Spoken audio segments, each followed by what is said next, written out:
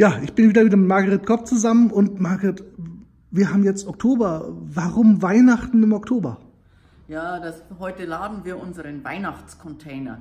So ein Container, der ist ja eine Zeit lang unterwegs. Der geht von hier erstmal per Zug nach Hamburg, wird dort aufs Schiff verladen, äh, schwimmt dann äh, bis nach Lomé und braucht dann natürlich in Lomé auch, bis wir ihn aus dem Hafen rausgeholt haben und wir mit der Verteilung dann der wertvollen Sachgüter anfangen können. Deswegen müssen wir da schon eine längere Vorlaufzeit einkalkulieren, damit die Päckchen äh, rechtzeitig zu Weihnachten bei den Empfängern in Togo ankommen. Was für Pakete sind das diesmal? Also diesmal sind natürlich ganz viele Weihnachtspakete für die Patenkinder dabei. Wir haben ja 700 Patenschaften, die wir zurzeit in Togo betreuen. Das sind Kinder, die in einer extremen, schwierigen äh, Lebenssituation sind und denen wir durch die Patenschaft helfen, dass sie in die Schule gehen können und dass sie einigermaßen gut auch in der Familie betreut werden können, zu essen bekommen, Bekleidung haben und so weiter.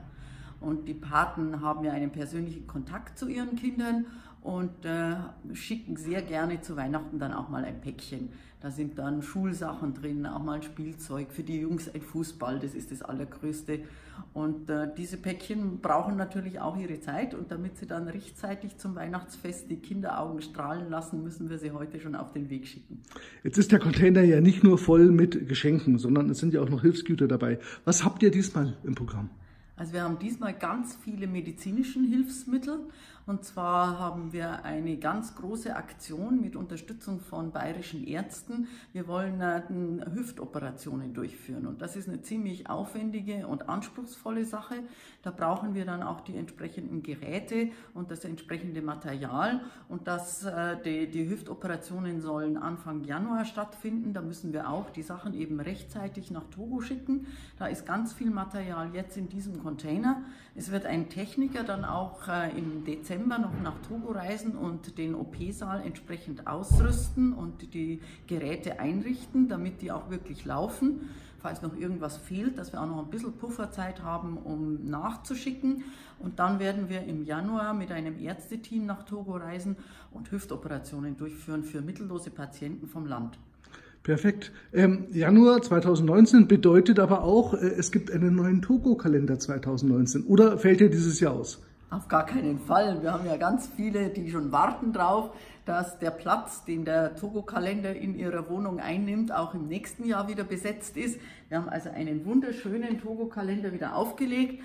Es sind alles eigene Fotos, die wir bei unseren Reisen aufnehmen. Wir haben Sponsoren. Auf jedem Monatsblatt befindet sich ein Sponsor, der uns hilft. Äh, die vielen Sponsoren helfen uns, die Druckkosten zu finanzieren, sodass wir den Kalender gegen eine Spende von 5 Euro abgeben können. Und die 5 Euro fließen zu 100 Prozent in unsere Kinderhilfsprojekte. Und da können wir dann einfach auch einmal spontan auf einen Notfall sehr schnell reagieren und haben ein bisschen ein Budget, um äh, ja, Kinderhilfsprojekte zu unterstützen und da, wo noch ein bisschen was fehlt, eben zuschustern zu können. Ihr verkauft den Togo-Kalender aber auch gerne in großen Mengen an Firmen, die quasi das als Weihnachtsgeschenk nehmen wollen. Sehr gerne. Also wir können auch größere Mengen zur Verfügung stellen. Äh, Bestellung genügt äh, bei Aktion PIT auf der Homepage. Die Adresse ist pit.de. Genau, ganz wunderbar. einfach.